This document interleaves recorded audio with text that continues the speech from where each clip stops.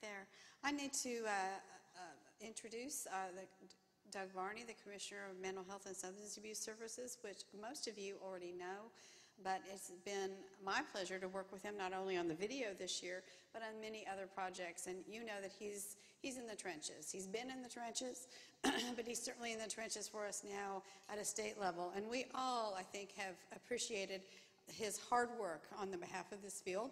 We appreciate him very much, and we want to, we very much wanted to make him a part of our 40th anniversary celebration. So thank you for coming. Commissioner.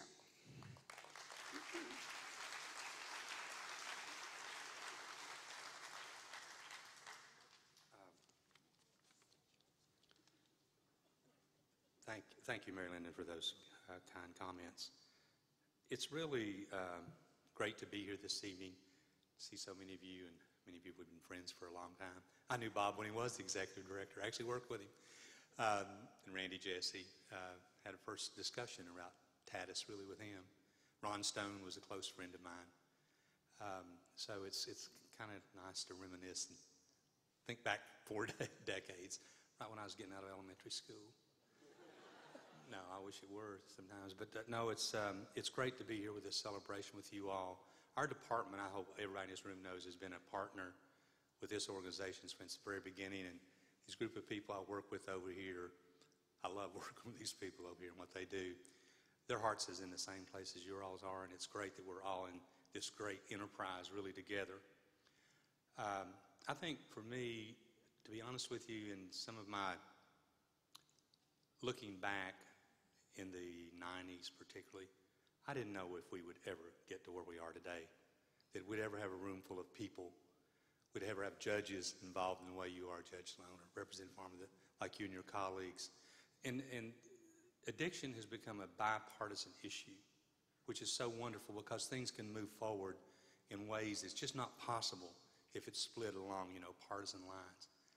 I never thought that everybody in our, I think everybody, almost everybody, surely everybody in our state, in our community, gets addiction finally. Finally, that it's more than just bad decisions or a moral question or some failing, that, that uh, it's more than that. Treatment works, recovery's possible.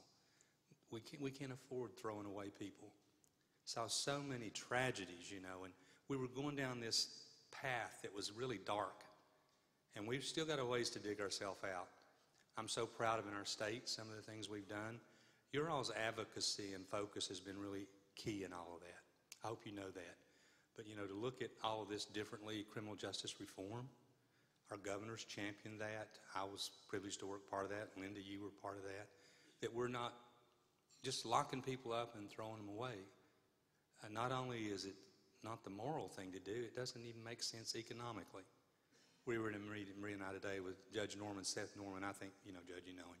He's like this, my idol. He's in his 80s and he's still out there, just like the day after he started in recovery. He's just as passionate today as he was then about helping people change their lives and move forward. But I really do, and until I, and I, I hope those of you know me well, know one of the reasons I came into this job really is about all this and wanting to do something to make a difference around all so we could move away from just where we were and into a place of hope and change and, and the society and uh, money, faith-based organizations looking at this differently.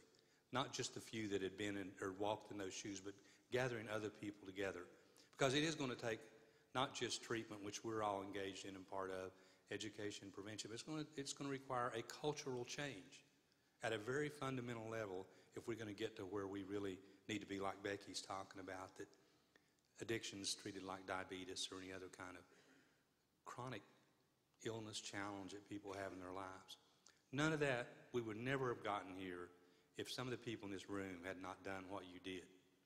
And, and it's like your second job, I know, and I've been very active myself in a similar organization, and um, like Randy, you in this one. Uh, it's like a second job, you know for many of you. You got your job, your day job, and then you got this helping Mary Linda and the other your colleagues focus our energy and attention and our hearts in the right direction. And it's never easy because you got tough work. being down in the trenches, digging ditches and being in tr- trench work is trench work. Just it's it's hard work and it takes a lot out of you. I'm always amazed and grateful though that in my life I've been able to be part of a group like this that can live a life of meaning and purpose and make a difference and be part of that. Even when you have disappointments, recovery isn't a straight path. Sometimes even the people we're closest to, and I've had own experience in my own family, people I wanted to help the most, I couldn't. Uh, but thousands and thousands and thousands of people across this state, from Memphis to Mountain City, now have a chance at a life. Mothers and fathers can be proud again.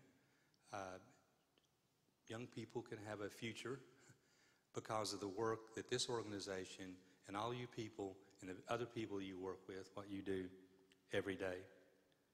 It's, I'm really committed, our department is committed, and all these folks, uh, these great people I work with are committed to helping. There, there's just so much as government you can do around advocacy. It really takes grassroots stuff, and that's what this organization helps do. And the truth of it is, we've been challenged on this side of the behavioral health continuum with that advocacy effort because traditionally the AA people didn't do that kind of thing. They did one on one stuff.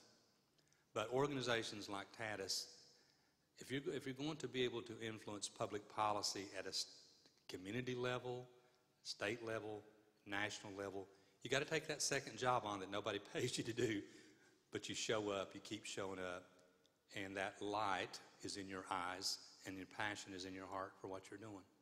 So really, thank you so much for letting me and the people I work with be part of this this evening. Uh, congratulations on four decades. I'm what was it? Six angry men in Chattanooga. Six angry men in Chattanooga. Probably had no idea. Were, were you one of those, Randy? Or no, I'm just teasing. Um, they probably had no idea how far this would come, and it, what it would mean at really crucial times in our evolution as a state and as a society and a community that people came together with one voice of reason, with information, data, and stories uh, to help sway people's hearts to move in the right direction. So, Mary Linda, congratulations to you and your staff. My personal favorite was the coconut cake. Although I'm partial to green beans too, and I don't get those that much. Southern green beans. Uh, you don't have to chew that hard on them, do you? They just kind of melt in your mouth. Um, that, but it was a great event, uh, wonderful, wonderful evening. Thanks for letting us be part of it. And uh, Barry, thanks for your leadership this year for this organization. I guess John's the new chair. I know you all continue to move forward. There's a big agenda coming up with the General Assembly. I'm really excited about the three stars process. Um, you know, our governor is very much, I, I, I so much wish to Insure Tennessee would have moved forward because of what we desperately need uh, is people to be able to access treatment who want to change their life.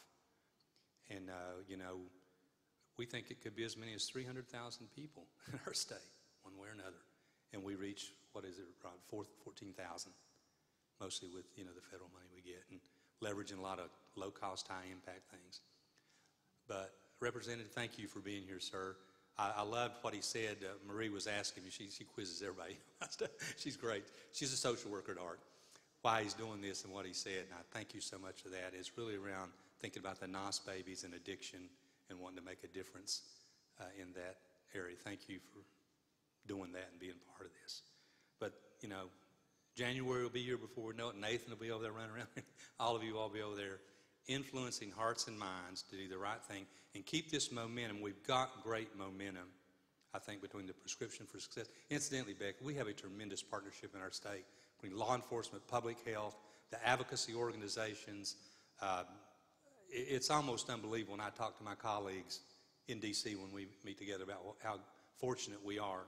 Uh, but I hope we can all bring that to bear and help Chairman Sexton or whatever it takes to get the resources so people can um, access treatment.